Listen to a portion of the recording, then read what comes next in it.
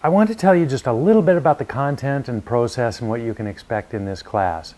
You'll find out the most by going in and experimenting with what's, uh, what's in front of you and what's provided to you, but uh, I wanted to give you a little heads up before we started.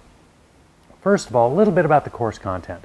Course content includes theory and issues and people and about the profession of educational technology and what that means. It's a deep class. It's very wide, but it's also potentially very deep, and you're a participant in deciding how deep you go into any parts of it. That's a little bit tricky. What I've tried to do is in this course, given, given the pressures that are put on all of us so with the time this summer, is to um, give you the launching points for each of these things and then some ways to explore each of the topics we'll deal with. And then I'm hoping what you will do is take those and go deeper in some areas and leave some of them shallow for yourselves. That's, uh, that's a normal decision making process you'll, you'll need to go through in the course.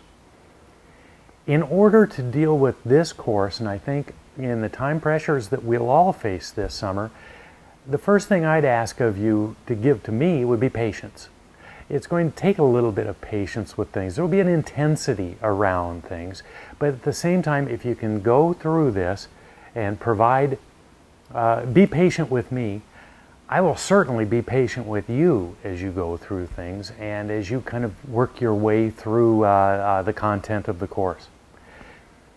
Dealing with readings, um, that's the process we include will include um, just a quick overview. Readings, what I'm calling backyard homilies, um, online discussions, weekly online discussions, and then real time events. We will do some things in real time. So, the readings. I'll assign particular readings to you each week. These, there will be required readings, but then in most cases you're going to see that there are quite a number of, of uh, optional readings. These are things that you may go to now if you're really um, uh, interested in an area, or you may save them for later. This is a course that does not end, ever. You take it for six weeks in the summer, but then uh, afterwards, I hope this is a course you'll keep returning to. I will leave the website live you'll be able to get to those resources and other resources that you generate for quite a period to come. I won't promise forever, I don't know. But, uh, but it will be for a period of, of months or years, not a period of weeks, that the uh, material will be available to you. Um, as you read, there's a particular approach I would take. I would start by scanning. You'll have a lot of reading material each week. I try to compress that to the beginning of the week so that then you have some time to think later in the week about what you've read. So at the beginning of the week, I would pick up, let's say, a chapter or an article, and I would just scan it. I would scan it by looking at the topics. I'd look at the topics and the subtopics and maybe read the first couple of sentences of each of each paragraph. But I wouldn't go beyond that because what I want you to do is get a sense of the reading. What's it talking about? What's the shape of it? How, how, um, how detailed does it become? How difficult is it going to be to grapple with? Then come back to it. After you've had a scan, a scan of it, leave it alone for a little while, and then come back to it and then do the reading clean through. I think you'll find that that kind of an approach, followed up by some reflection on it, going to be a really, I think, productive approach to do, dealing with the readings in the class. Now, the backyard homilies. Jay's here with me right now. He's just on the other side. See, there's Jay. Uh, Jay and I uh, actually sat in my backyard uh, and and videotaped my, your backyard most of the time. Um, videotaped um, what, what we call backyard homilies. They're really just lectures. Okay. What I tried to do is take each of these topics and hit the key points for you. Now, they aren't we, we, we tried not to duplicate what's in the readings, but in many cases we'll highlight from the readings and provide a little more detail. Tried to keep them as brief as possible, although you'll laugh when you see them. Sometimes they aren't as brief as I wish. They'll go anywhere from, oh, I think the shortest one is about 15 minutes to an hour. Okay, um, so Uh, check them out when you first pull them up and see how long they are. If, if I have time before I get to uh, uh, actually launching the website, I'll go through and measure each of them and put up a little time warning on each one for you. But, uh, but plan on spending time with those homilies at the beginning of each week of the six weeks of the topics. Um, do them kind of in combination with the readings. Think of that as the heavy content portion of your week. And then later in the week, then we will begin and continue with online asynchronous discussions. You'll go to a discussion board. I'll provide a topic for you, um, maybe a, another small reading or um, um, a little activity to do, but mostly around thinking and tying into some of the things that we're talking in, extending or talking about in the class, um, extending those ideas and giving you a chance to unpack some of the ideas uh, and and and really think about them and think about them publicly, and then comment on each other's work. You've done discussion boards before, you know what I'm talking about. Then I'm hoping, I'm hoping almost weekly, but I won't guarantee a cadence just yet. Um, but I'm hoping about weekly anyway, we're going to have a real time event. Now, that may be just a chance for us to get together in a video conference, in an Elluminate session, and talk about how things are going with the content, answer any questions you have. But it might also then be a chance for us to pull some people in the field together. I might uh, get a hold of somebody, a, a friend or colleague somewhere else, and say, Would you come online with us for 15 minutes?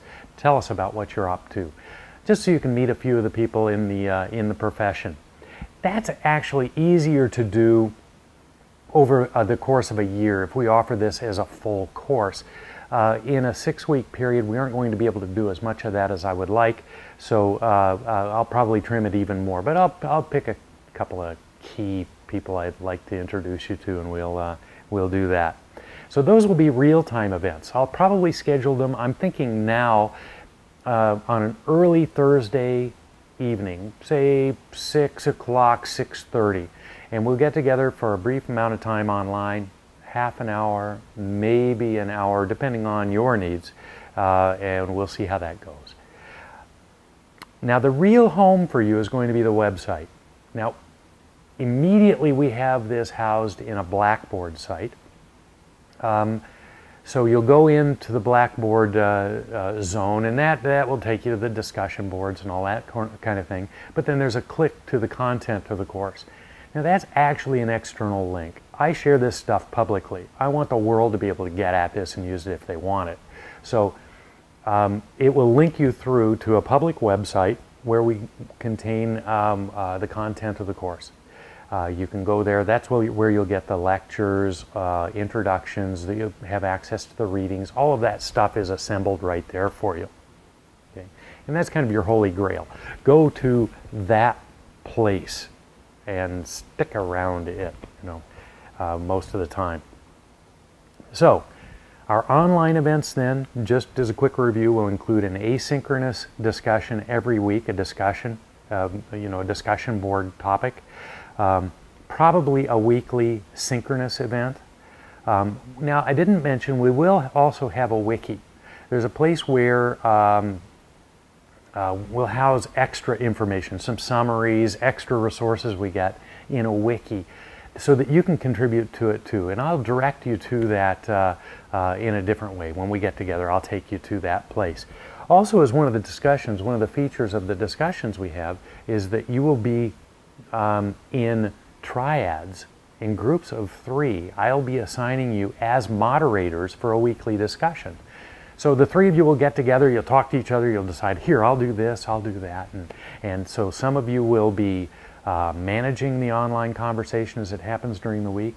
Maybe one of you will volunteer to uh, summarize the discussion that week. But the overall cadence will be your group will be responsible for animating the discussion and then summarizing the discussion in a public place for the group. You'll do that once during, uh, during the course.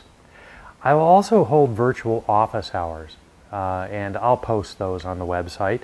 But uh, usually in, with Skype, you know, I'll have uh, my Skype name is Schwier. Uh, find me there, uh, and I'll I'll post the time and place, uh, or the time anyway, where I'll appear on Skype, and you can reach me during, uh, during those hours. So, with patience and with good humor and with a lot of energy, I hope you'll bring to it. I'm really looking forward to this summer, and I hope you are too. And I know we'll get to get to know each other rather well, and I hope you get to know each other rather well. That's one of the hidden pieces of this. Is I hope that even in the short time we have here, you'll get to know each other exceptionally well in ways that you probably haven't gotten to know other people. The online environment that we've created is a pretty rich environment for doing that. And so make friends, get, get to know each other, become colleagues. Uh, you'll be spending a lot of time with each other in the program. And uh, now's a good time to get to know who your friends can be. So uh, we'll see you on the other side.